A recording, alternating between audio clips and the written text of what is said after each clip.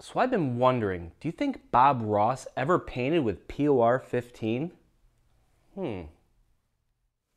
Welcome back. Today I'm very excited because I'm going to show you something that you've never seen before on television. Today we're going to start with a white canvas and we're going to use some magic black on it. So I'm going to let you see me cover the canvas. And this is magic black here. We'll just cover the entire canvas and go all the way across.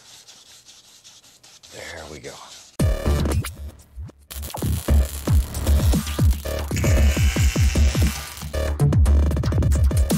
Welcome back to the channel everyone. Today we're working back on the 52 Chevy. In the previous video we actually got the floor completely degreased and metal etched, prepping us for today's video where we're going to seam seal and POR 15 the entire floor of the truck. So for the seam sealer, I went to the AutoZone and picked up some Dynatron gray seam sealer. It was pretty cheap. It was like $14.99 for the tube. We're gonna take that seam sealer and we're gonna smear it all over the welds and the seams inside the cab just to make sure everything's nice and watertight. So after everything's been seam sealed in the truck, we're gonna let that dry for a couple hours. Then we're gonna break out the POR 15 and we're gonna coat the entire floor of the cab with this paint right here. So let's get everything ready to seam seal right now. Let's do it. So to do the seam sealing process, it's actually really simple. All you have to do is throw your seam sealer in a caulking gun. This is just your typical caulking gun I picked up at the Home Depots. And what I'm really focusing on right now is you see these welds, they don't look the best. You're not really gonna see them too much, but I'm just gonna put a layer of seam sealer right along here just to try to soften the weld up all along the edges here, all along the front floor, probably around the entire inside and outside of this seat riser here, around any weld marks or holes that I covered up around the old gas tank strap that I wasn't able to get. I'm just gonna soften that edge up a little bit. Any floors in here, definitely along the kick panel here, up here on the kick panel. Seam seal all the edges, a little bit over a couple of my welds, might not be absolutely perfect, but I wanna make sure everything's nice and sealed up the best that we can. So I've got two methods to possibly do this. One, we just you know, squirt this down here with the caulk gun and then you just take your finger. In here I have a little bit of the degreaser, maybe put a little degreaser on my finger to add a little bit of lube and just kind of like swipe over it real quick. Done. The other method would be if I'm doing like a bigger joint, you could use your finger like, or you could take the little bristle brush here, dip it in a little bit of degreaser and just kind of go over it like this. And that should give you a nice smooth finish as well. So we're gonna try both methods right now and try to seam seal everything up in here the best we can. After that's done, the tube says let it dry for 30 minutes. We'll probably go, you know, do something else while it's drying. Then we'll come back out here with the POR 15 and paint everything. It'll be all nicely black and shiny when we're done. I'm gonna start in the centers here, get these done. Any spots that I've kind of fixed, just to see how this is actually gonna go, because I haven't done this before. I'm just curious to see how this stuff actually flows out and stuff like that. Around here we want to make sure that's all seamed up nice and neat. So we'll try the finger method first here. Just, you know, swipe it around like that. You can smooth it out the best you can, just like that. Now that was without using any degreaser on my finger.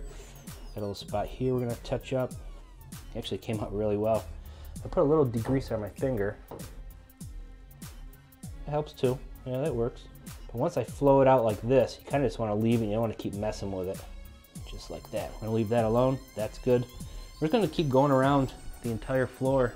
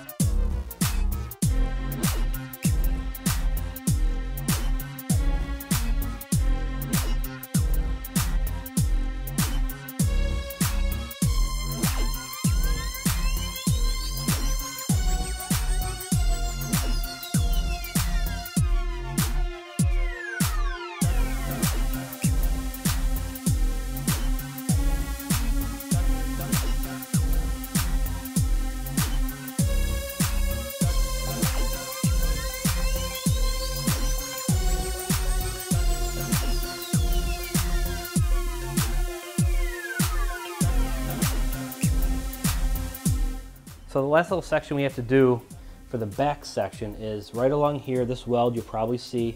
Then we'll just touch up down along here and along the back rail there.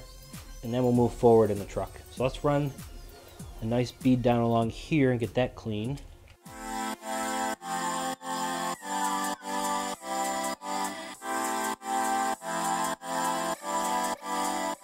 All right, so this whole section back here has all been seam sealed all along the back wall, over the brackets we removed, around these back brackets, around the outside and inside of the seat riser.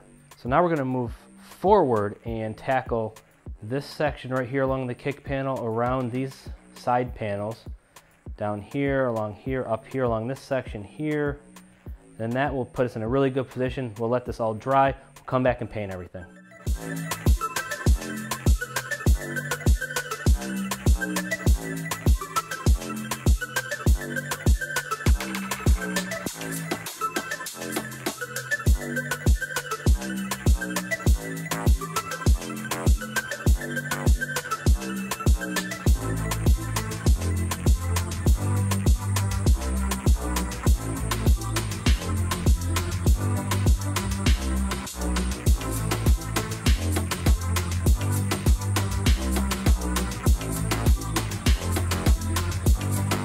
All right, so right now we've got everything seam sealed all the way around, around everything. Everything's nicely sealed up.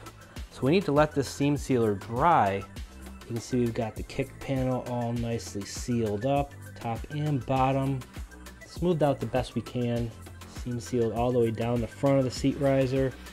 A couple of the spots we patched in the floor. We seam sealed along here just to make this, the weld look a little bit smoother than it really is. We seam sealed here where the two floors meet. Went through the back, seam sealed up everything. Some cosmetics, some actually, because we do want to actually keep it protected from leaking.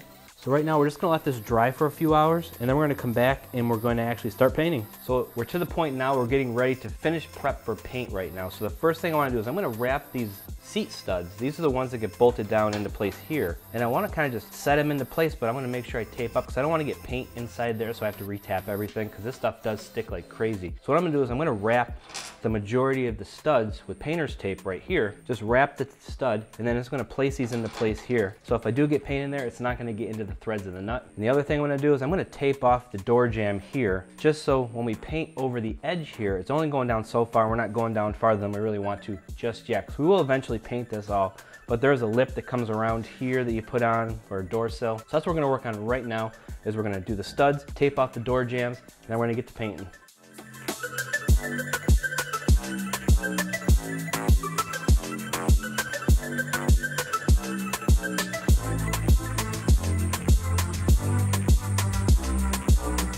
Everything is ready to paint inside the cab. All of the seam sealer is nice and dry right now. So what we're gonna do is we're gonna start mixing up the paint. And I'm probably gonna start painting here on the inner kick panels, just so if I have to lay in here, I can to get in there and paint that nice and neat. Then we'll probably start up here, maybe do this section, come back here and do this section. Doing here is probably gonna take the longest because you have to get up underneath and around and up and under and all this all, all around in here, up there, down there, all around. That's probably gonna take the longest. So we'll probably do back here, up here, in here, and then maybe finish off here. That should go a lot faster. So let's get the paint mixed up right now. So right here I have the POR 15 that we're using. It's a gloss black. Got a paint stick to stir that up.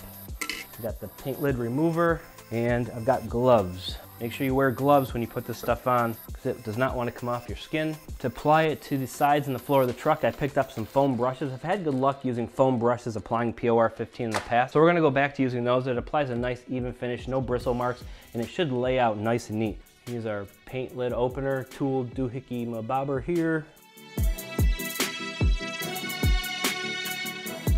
Now that we've got this all nicely mixed up, we're just gonna take our foam brush and just kind of wipe off the paint stick. This is very thin paint, but the coverage on this stuff is pretty amazing. Put that in the box, put this in the truck. So we're just gonna start painting this section right here.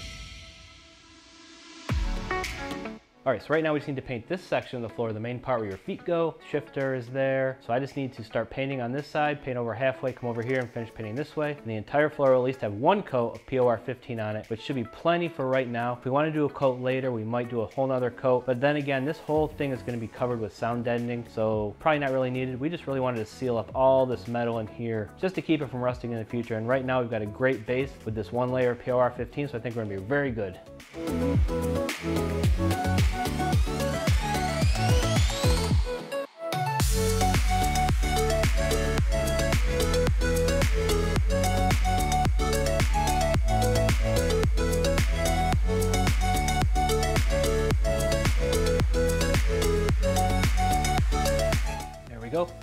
Entire floor, 100% painted. Bing! Okay, so right now that we've got the entire floor painted in the cab, I'm gonna remove the tape because we don't want the tape on there when the paint's drying. I'm also gonna take out the seat studs to get those out of the way too so everything can dry fully without anything binding up with the paint. So I'm gonna do that right now.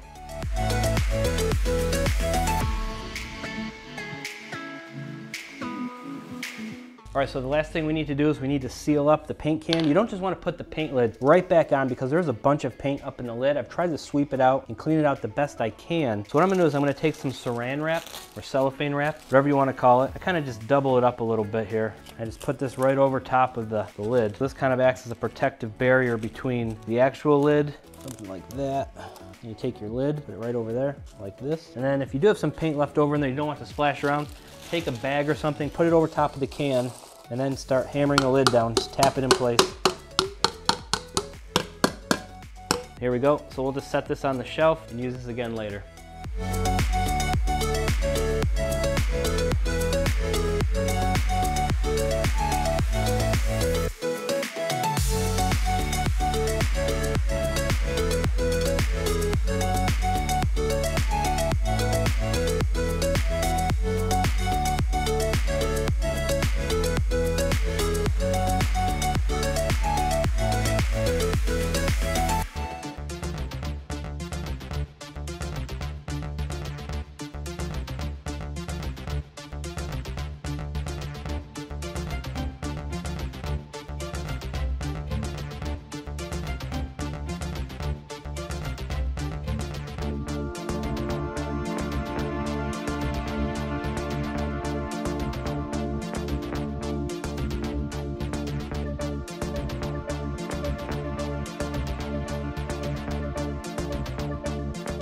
All right, everyone, that's gonna be wrap for this video. As you can see, we got the cab for 100% seam sealed and painted with a nice coat of POR 15.